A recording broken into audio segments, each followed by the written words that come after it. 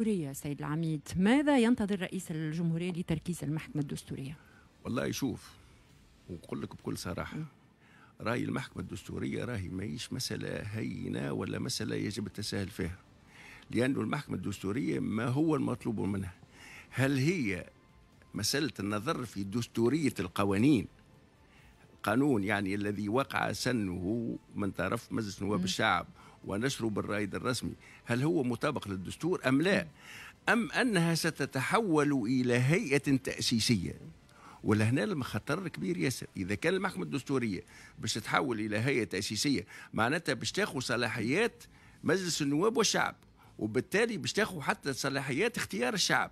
ولذلك أحوج الأمر التفكير في قانون أساسي لهذه المحكمة لكي يقتصر دورها على النظر في دستورية القوانين دون أن تتحول إلى هيئة تأسيسية. وهنا السادة اساتذه القانون الدستوري.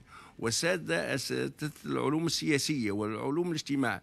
لهم أن يدلوا بآرائهم في خصوص هذه المسألة وفي خصوص هذا القانون الأساسي. وعندما يتوضح القانون الأساسي فيجب التعجيل بإصدار القانون الذي ينظم يعني المحكمة الدستورية. يعني اليوم نعرفوا إن المحكمة الدستورية مكوناتها باش يكونوا آه يعني آه ممثلين عن القضاء العدلي والإداري والمالي. معروفين آه معروفين بصفتهم الأكبر سنا. الأكبر في درجة التعقيب التعقيب وفي يعني المحدد هو السن السن ودرجة التعقيب يعني من الناحية هذه ال fr: côté formel بين ظفرين يعني هذه فهمنا ولكن اليوم ما كناش ننتظروا يعني اليوم التساؤل حول هدف أو صلاحيات المحكمة الدستورية سيد العميد. علاش؟ يعني لا شيء طبيعي. شيء طبيعي. هذا يلزم يلزم تنظيم المساله هذه لأن المحكمة الدستورية هي التي ستفصل في دستوريه القوانين.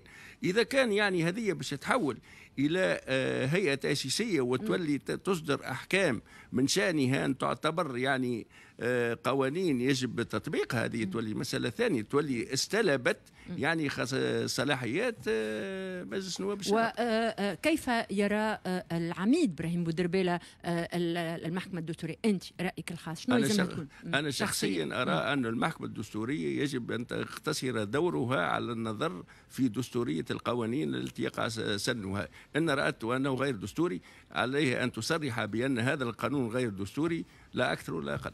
وفقط هذا هو يكون هذا هو فقط.